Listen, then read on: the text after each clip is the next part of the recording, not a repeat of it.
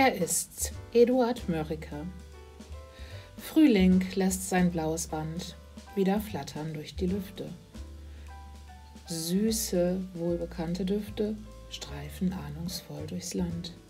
Veilchen träumen schon, wollen balde kommen. Horch von fern ein leiser Hafenton.